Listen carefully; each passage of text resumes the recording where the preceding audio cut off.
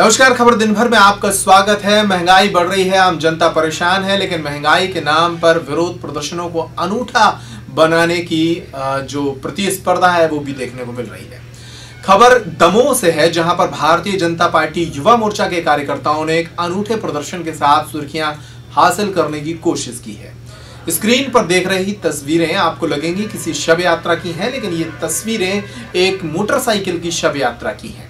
भाजपा युवा मोर्चा के कार्यकर्ताओं ने मोटरसाइकिल की शव यात्रा निकालकर मध्य प्रदेश में सरकार द्वारा बैट बढ़ाए जाने का विरोध जताया है।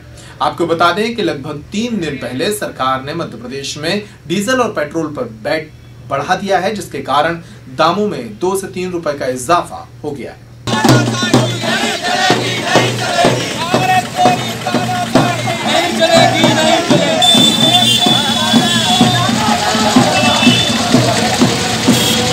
लोगों ने आज प्रदेश अध्यक्ष जी के आह्वान पर वाहन को लेकर रैली निकाली अर्थी कंधा लेकर अर्थी यात्रा निकाली है, क्योंकि अब युवा और जो मध्यम वर्गीय परिवार का व्यक्ति होगा, वो गाड़ी पर नहीं चलेगा, गाड़ी उसके कंधे पर चलेगी और वो उसको त्याग देगा और पूर्ण जल, पूर्ण तरीके से जला देगा और पैदल और साइकिल पर सफ़र उसको करना पड़ेगा।